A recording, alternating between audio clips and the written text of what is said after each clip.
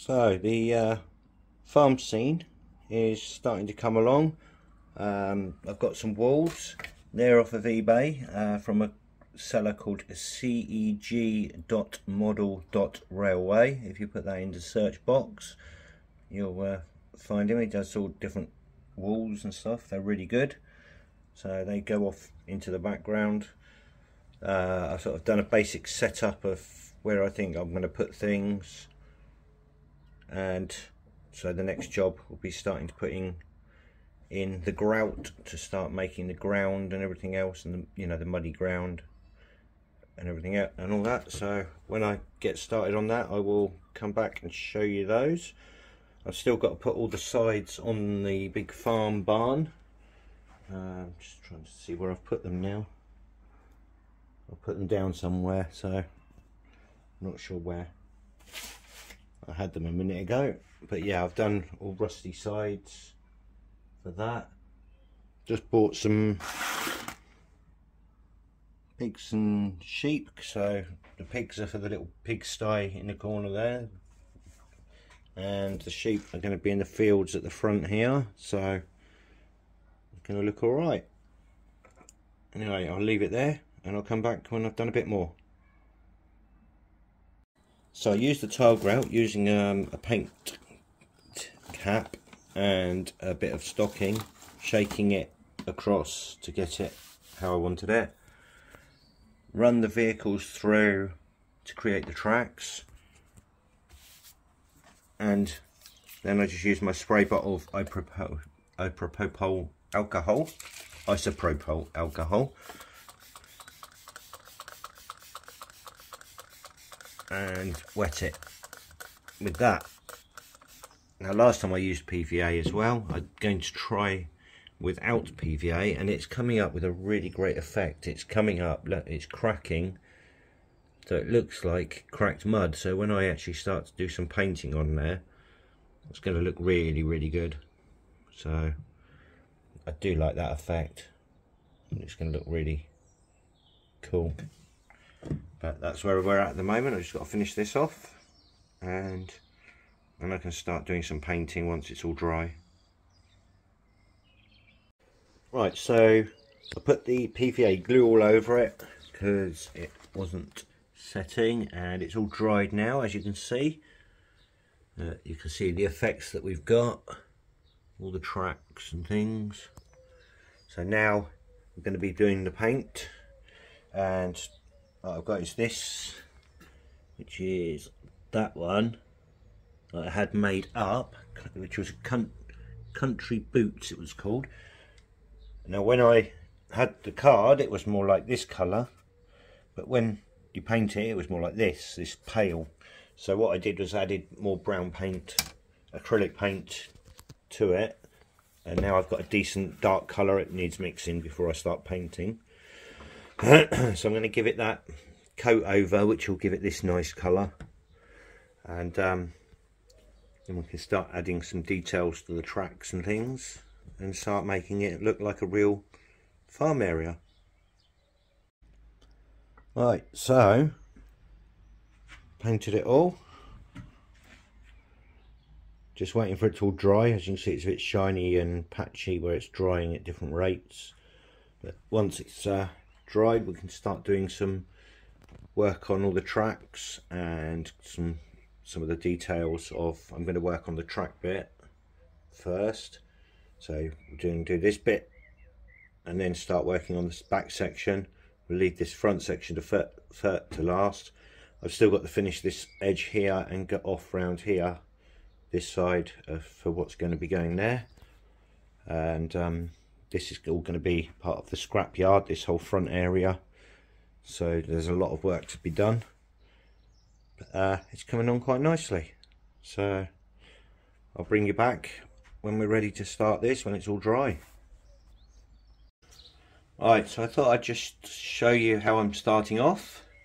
So, as you can see, I've picked out a lot of the areas around the tracks with um, the darker mud and that is earth color by mig. And then I'm mixing up a wash which you can see. I've started to put there which looks quite good actually um, which is another MIG wash which is Tracks wash. But I've watered it down with Humbrol enamel thin thinners to make a more of a liquid wash like that and what I like about it is if you look at that you can see it picks picks out all the cracks and details. So and it blends this darker in with the lighter quite nicely. So literally just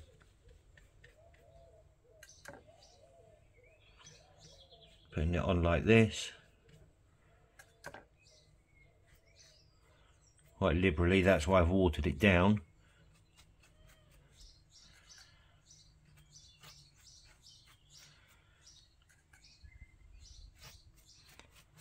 but that's all I'm doing like that. And then when this is all dried take some of this. See how you can if you put too much in a dip you just put the paintbrush back in and it will take some off. But then when this is all dried off I will be using some weathering powders to dry brush over the tops just to pick out the top edges of the ruts and things like that. So it will start to uh, blend in even better then. So it goes from looking like that to looking more like that. It's hard sorry it's hard to get the camera in but as you can see it's looking pretty good in my opinion. So that's where we're at so far so I've got to wash do the washes on all of that yet. And we'll come back when we're on the next stage. Right so as you can see I've started to draw out the track plan for this area for where the tracks are going to be. I have some tunnels which are going to disappear off so it some of the tracks won't be connected to the main track going through there because they're just going to be for storage of old locos and that for the scrapyard. So I don't need them powered. I don't need anything. Um, but so I've just drawn out my plan. There will be uh, this one coming in from two points. I'll have one, two, three, four sidings there that are powered.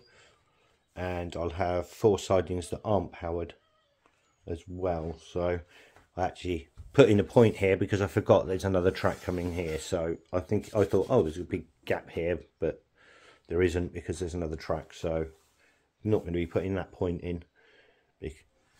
So as you can see, I've started to, I've done up some arches, which these are recycled from the old layout along the back section. Uh, taking them off. They were stuck on the back scene and reused those. Made another bit there. I've got another wall to do along the front edge. And as you can see the tracks are taking shape now. I'm going to show you how I am getting this. So just try and zoom in a little bit. So as you can see I've got like a muddy track coming up. And we've got the tracks beforehand, which look good. but what we need to do is I'm using this, which is actually makeup set. And I was given, and as you can see, there's a lot of colours, a lot of really good colours from Model Railway. And this set is this one. I got given this, luckily by my partner, who doesn't want any of these colours. So I'm going to be using this one, the nut, but there's so many good colours in there that you can use for weathering. And then I just use a brush like this and I'll show you, I'll try and set the camera up and show you how we do. Well, I'm hoping you can see that okay. So all I'm doing is getting some of the powders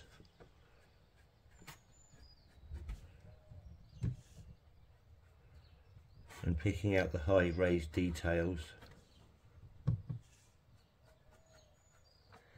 Bear in mind I'm going to be putting more stuff on the tracks. I'm going to be putting grasses and things as well so but all this does is start to pick out all the details and it actually looks a lot lighter in real life than on the camera so I don't know why it's coming out so light on the camera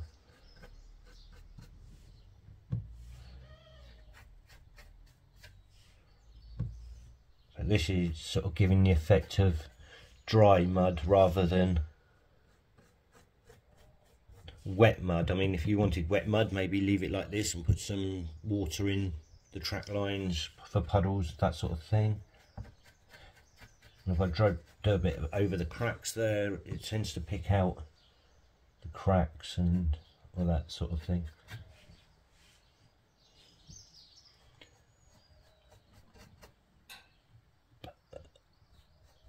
And this is all, all you've got to do.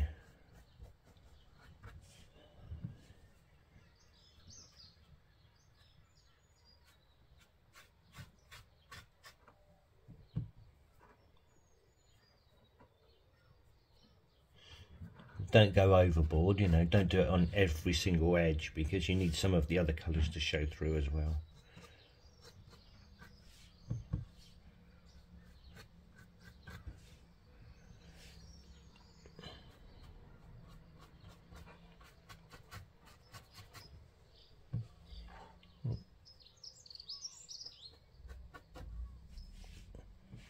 but it also starts to help pick out the tracks better. Just gives you a little bit. But where we've used the grout for the base it's got some really lovely uh, edging. What I did though is I sort of did something that messed up but it's actually given a better result. So obviously you, you saw when I put the grout down and I said all I'm doing is putting the isopropyl alcohol that started to make cracks in it but what I did need to do was once that had dried it was still a bit powdery and not set so I then wet it with the propyl again and then put the liquid glue on which didn't soak in as well but it set the top hard. So at that point I used after it had been sat for a while I used paper towels to dab off all of the excess glue and it's set perfectly. So that process of doing it just with the isopropyl first actually created cracks in it that look better. So I've just taken it off the tripod. I don't know why it's showing up as so light on the pictures on the camera because it's not as light as it looks. It actually looks lighter um, it looks less light to the naked eye. Um, but what I'm talking about with the cracks, if I can get in there, look, you've got some beautiful cracking that's come up. Really does look like cracked old dry mud. And it's looking good. I'm quite, I'm really happy with it. I mean, I could have left it just like that, which looks good as well, but I do prefer it with a bit of the shadowing. Plus I'm going to be putting more on there anyway so you won't see all of this colour yet anyway. Um, because obviously as you know you always get grass in between tracks and then I've got the edges to do as well so a lot to do in this area still. But it's definitely moving forwards and what I'll do is I'll do a picture at the end and use that as the main shot for the video. And hopefully you'll be able to see uh, that this isn't in the photos as light as it looks on the on the camera. I don't know why it's coming out so light on the film because it really isn't. Even the palette there looks a lot lighter. I don't know if I can change the colour on the video Right, so for the next bit, as you can see, I've already started. Um, I'm just putting some 2 mil grass.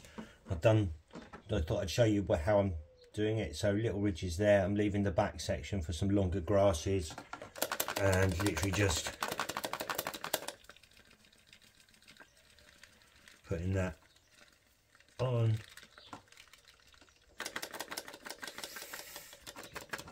and then we need to wait need to wait for a while let that dry hoover it up and then I can start putting on the next sections of layers of grass uh, around the edges. So it's certainly uh, coming on and obviously it looks a bit awful at the moment.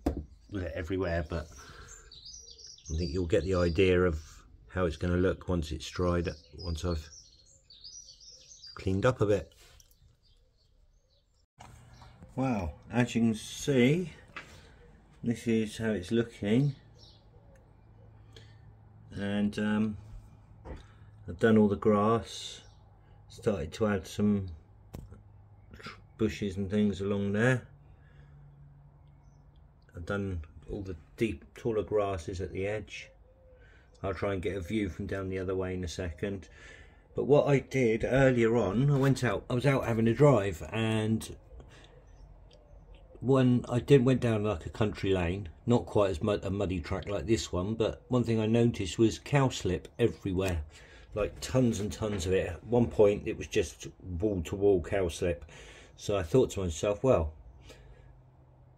that's something I need to be adding. And so I've made myself some flock material in a white yellow sort of paley off white which is perfect colour for it because it's got a bit of a yellow tinge to it. Oh and I just dropped the one I was going to show you.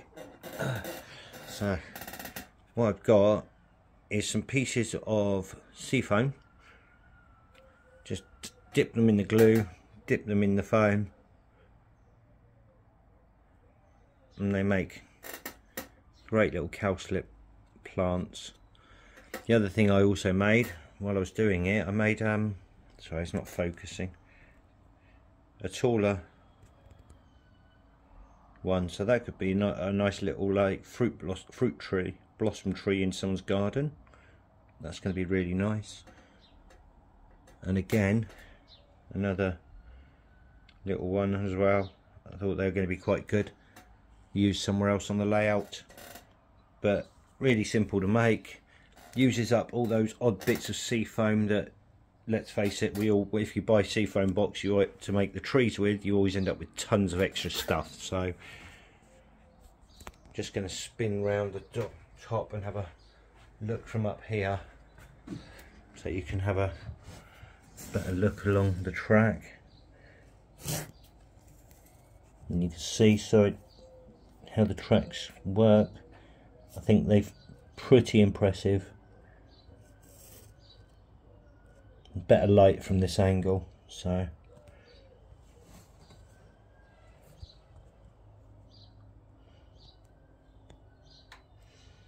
And obviously I've got the tracks coming into the farm area.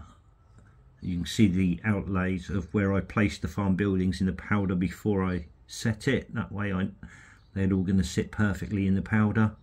Even got some notches there where the farm barn posts are it's actually going to sit really nicely.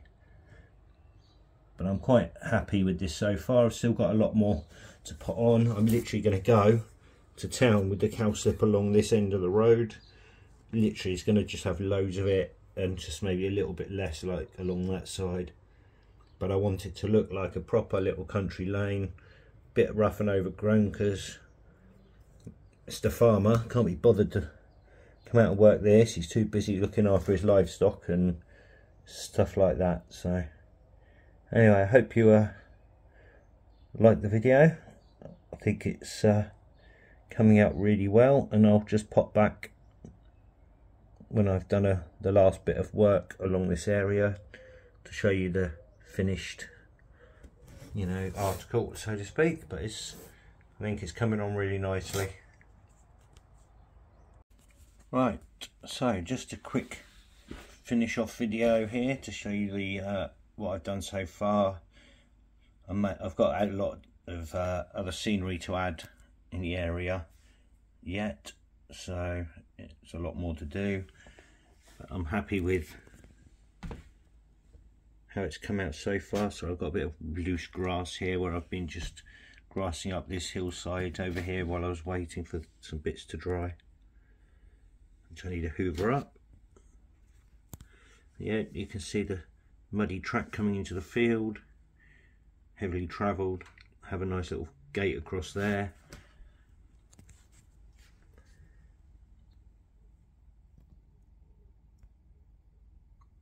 And uh, these white things that I called yesterday, I called, not I say yesterday, but previously in the video, uh, called them cowslip. I meant to say cow parsley, so I know they're not cowslip, but yeah, so I'm quite happy with the tracks. I think it looks uh, pretty good so far.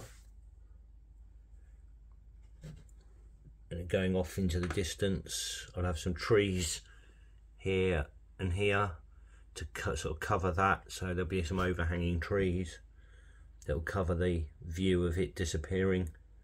That way they get away with it going off the baseboard. So, yeah, I'm pretty happy with it. So, there's a lot of detail being put in.